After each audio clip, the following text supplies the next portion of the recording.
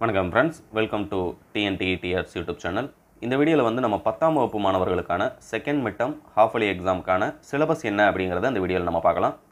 அதை பார்க்குறதுக்கு முன்னால் நான் அப்டேட் பண்ணக்கூடிய ஸ்டடி மெட்டீரியல் ஆன்சர் கீ எல்லாத்தையுமே நீங்கள் நோட்டிஃபிகேஷனாக பெறணும்னு நினச்சிங்கன்னா நம்ம சேனலை மறக்காமல் சப்ஸ்கிரைப் பண்ணி பக்கத்தில் இருக்கக்கூடிய பெல் ஐக்கானை கிளிக் பண்ணி வச்சுக்கோங்க. இப்போ ஃபஸ்ட்டு வந்து நமக்கு டென்த்து ஸ்டாண்டர்ட் தமிழ் பாடத்தில் வந்து ஏற்கனவே நம்ம குவார்டர்லி எக்ஸாமுக்கு வந்து ஆறு யூனிட் வந்து அட்டன் பண்ணியிருப்பீங்க. அந்த ஆறாவது யூனிட்டில் இருக்கக்கூடிய திருக்குறள் ஏன்னா மூணாவது யூனிட்லேயும் ஆறாவது யூனிட்லேயும் திருக்குறள் இருந்திருக்கும்.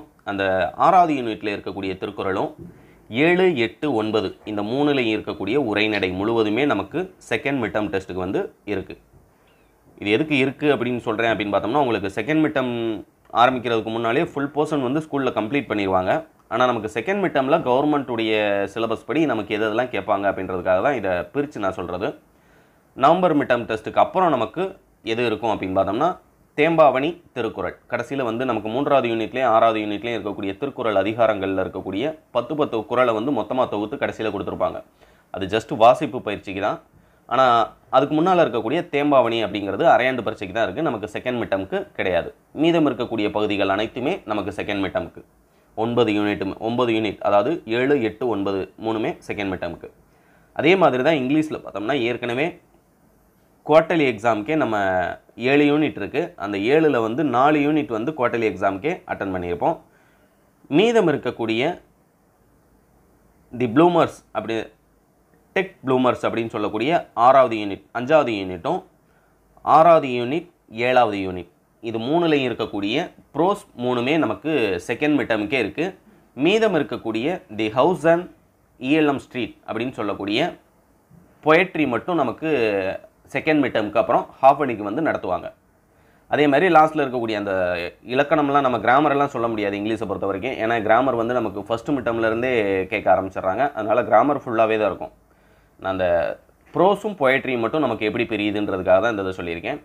அதேமாரி மேத்தமெட்டிக்ஸில் பார்த்தீங்க அப்படின்னு பார்த்தோம்னா உங்களுக்கு இருக்கக்கூடிய மொத்த சாப்டரில் வந்து செகண்ட் மிட்டம் டெஸ்ட்டுக்கு அப்புறமா நமக்கு குவார்ட்டர்லிக்கு அப்புறமா எது எது இருக்குது அப்படின்னு பார்த்தோம்னா அல்ஜிப்ரா அல்ஜிப்ரா இருக்குது எக்ஸசைஸ் த்ரீ பாயிண்ட் ஒன் டூலேருந்து த்ரீ பாயிண்ட் ஒன் ஃபோர் வரைக்கும். அதேமாதிரி அல்ஜிப்ரா த்ரீ பாயிண்ட் ஒன் செவன்லேருந்து த்ரீ பாயிண்ட் டூ ஜீரோ வரைக்கும். அதேமாதிரி ஜியோமெண்ட்ரியில் வந்து ஃபோர் பாயிண்ட் த்ரீலேருந்து ஃபோர் பாயிண்ட் ஃபைவ் வரைக்கும் இருக்கக்கூடியது வந்து நமக்கு இப்போ செகண்ட் மிட்டம் டெஸ்ட்டுக்கு அக்டோபர் மாதத்தில் வந்து நடத்துவாங்க. அதே மாதிரி ட்ரிகோனோமெட்ரியில் வந்து என்ன இருக்குது அப்படின்னு பார்த்தோம்னா எக்ஸசைஸ் சிக்ஸ் பாயிண்ட் டூலேருந்து சிக்ஸ் பாயிண்ட் ஃபைவ் வரைக்கும் அடுத்து வந்து செவன் பாயிண்ட் ஒன்லேருந்து செவன் பாயிண்ட் ஃபைவ் வரைக்கும் செகண்ட் மிட்டம் இருக்குது ஜாம்ட்ரியில் ஃபோர் பாயிண்ட் ஃபோரும் ஃபோர் பாயிண்ட் ஃபைவும் மட்டும் நமக்கு செகண்ட் மிட்டமுக்கு அப்புறமா நடத்துவாங்க. அதாவது ஹாஃப் அலி எக்ஸாமுக்கு அதோட வந்து நமக்கு சாப்டர் முடியுது. அடுத்த ரிவிஷன் எக்ஸாம் ஆரம்பிச்சிடும் லாஸ்ட்டில் வந்து எயிட் பாயிண்ட் த்ரீயும் எயிட் பாயிண்ட் ஃபைவும் வந்து எயிட் பாயிண்ட் த்ரீலேருந்து எயிட் பாயிண்ட் ஃபைவ் வரைக்கும் நமக்கு ஹாஃப் அலி எக்ஸாமுக்கான போர்ஷன் அதோட நமக்கு வந்து மேக்ஸில் வந்து ஃபுல் போர்ஷன் முடியுது. இது அப்படியே நீங்கள் ஸ்க்ரீன்ஷாட் எடுத்து கூட பார்த்துக்கலாம். அதேமாதிரி சயின்ஸில் பார்த்தீங்க அப்படின்னு பார்த்தோம்னா உங்களுக்கு அதை மூணாக பிரிச்சிருப்பாங்க. ஃபிசிக்ஸ் கெமிஸ்ட்ரி பயாலஜி அப்படின்னு சொல்லி. அந்த ஃபிசிக்ஸில் வந்து ஏற்கனவே குவார்ட்டர்லி எக்ஸாமுக்கு வந்து எலக்ட்ரிசிட்டி ஃபோர்த் யூனிட் வரைக்கும் அட்டன் பண்ணியிருப்போம். அதேமாதிரி பயால கெமிஸ்ட்ரியில் வந்து சொல்யூஷன் நைன்த் யூனிட் வரைக்கும் அட்டன் பண்ணியிருப்போம். அதேமாதிரி பயாலஜியில் வந்து எயிட்டீன் ஹெரிடிட்டி வரைக்கும் நம்ம அட்டன் பண்ணியிருப்போம். மீதம் இருக்கக்கூடியதில் நமக்கு செகண்ட் மிட்டம் டெஸ்ட் வரைக்கும் என்ன இருக்குது அப்படின்னு பார்த்தோம்னா நியூக்ளியர் ஃபிசிக்ஸ் வரைக்கும் அதாவது அஞ்சாவது யூனிட்டும் ஆறாவது யூனிட்டும் இப்போ செகண்ட் மிட்டம் டெஸ்ட்டுக்கு இருக்குது அதே மாதிரி கெமிஸ்ட்ரியில் வந்து பத்தாவது யூனிட்டும் பதினோராவது யூனிட்டும் பத்தாவது யூனிட் வந்து டைப் ஆஃப் கெமிக்கல் ரியாக்ஷன்ஸ் அப்படிங்கிறது பதினோராவது யூனிட்டும் இருக்குது அதேமாதிரி பயாலஜியில் பார்த்தோம்னா நைன்டீன் டுவெண்ட்டி டுவெண்ட்டி ஒன் அதாவது ஹெல்த் அண்ட் டிசீசஸ் வரைக்கும் இருபத்தோராது யூனிட் வந்து ஹெல்த் அண்ட் டிசீசஸ் அது வரைக்கும் நமக்கு செகண்ட் மிட்டமுக்கு இருக்குது அதுக்கப்புறம் மீதம் இருக்கிறது ஹாஃபலிக்கு என்ன அப்படின்னு பார்த்தோம்னா last chapter twenty two environmental management மட்டும் நமக்கு ஹாஃபலி எக்ஸாமுக்கு மிச்சம் இருக்கும். அதுக்கப்புறம் முடிஞ்சது அதோட சிலபஸ் கம்ப்ளீட் ஆகுது.